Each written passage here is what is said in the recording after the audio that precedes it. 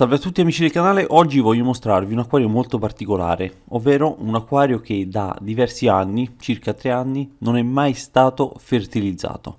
Questa è una cosa incredibile, visto che la fertilizzazione è praticamente da sempre considerato qualcosa di obbligatorio in acquario. Eppure questo non è mai stato fertilizzato. Vediamo un pochino intanto di che cosa si tratta. È un acquario da 180 litri, fauna esclusivamente composta da pesci del genere Pecilia, quindi abbiamo soprattutto plati come vedete, anche black molly, soltanto qualche guppy più raro. Sono tutti nati inizialmente da pochissimi esemplari e si sono pian piano riprodotti, arrivando a circa un centinaio di esemplari. La flora, ebbene sì, la flora non è molto esigente in termini di fertilizzazione, ma comunque è composta da piante rapide.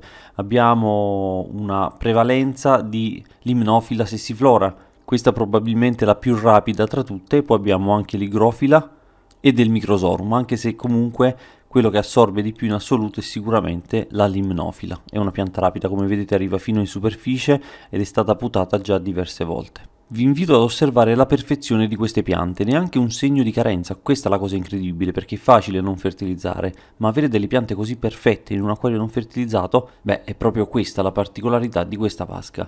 Vediamo un pochino i valori di questa vasca. È stata usata quasi solo esclusivamente acqua del rubinetto, per questo tipo di pesci può andare anche bene, anche se mi sembra eccessivamente dura. Comunque abbiamo un KH intorno al 15, un GH intorno al 17, pH 7,5 e soprattutto guardate i nitrati sono elevati, siamo sul 40 mg per litro, quindi sono nitrati abbastanza alti eh, per una vasca, però è vero anche che eh, c'è un perfetto equilibrio tra quello che è l'elevato numero di nitrati e la qualità delle piante, perché le piante tendono ad assorbire insieme al filtro, questo acquario è dotato di filtro esterno eh, ovviamente, però c'è da dire che c'è un perfetto equilibrio nell'assorbimento di nitrati. Ma allora da dove viene il fertilizzante naturale? Ovviamente viene dalla fauna, dal cibo in eccesso, ma soprattutto dalla fauna presente. Osservate, tutti questi pesci creano inquinamento e questo inquinamento non è soltanto di composti azotati ma anche di altri minerali che vengono introdotti con il cibo,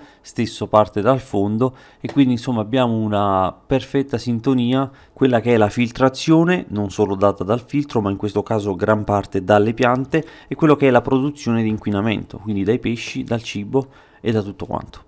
Con questo video non voglio dire che non dovete fertilizzare ovviamente perché tutto dipende dal carico organico, se potete fertilizzare ben venga ovviamente, però volevo farvi vedere che ci sono situazioni in cui c'è un equilibrio perfetto tra la fauna e la flora presente. D'altronde è come avviene in natura, perché in natura nessuno va a buttare il fertilizzante, in natura le piante eh, hanno questo equilibrio perché il nutrimento stesso viene dall'inquinamento. Negli acquari classici di chi magari ha appena iniziato c'è ovviamente la tendenza a ridurre l'inquinamento quanto più possibile, quindi si sta sempre attentissimi alla fauna che mettiamo, all'inquinamento che viene prodotto, alla filtrazione soprattutto ed è per questo che di solito si va a ottemperare alla carenza di elementi mettendo il fertilizzante, ma quando si trova un equilibrio perfetto in realtà questo non è strettamente necessario. Diverso il discorso per le piante estremamente esigenti e lì dobbiamo dosare perfettamente tutti gli elementi, stimare le carenze, insomma lì è tutto un altro discorso.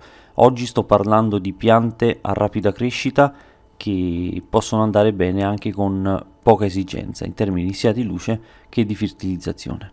Grazie a tutti.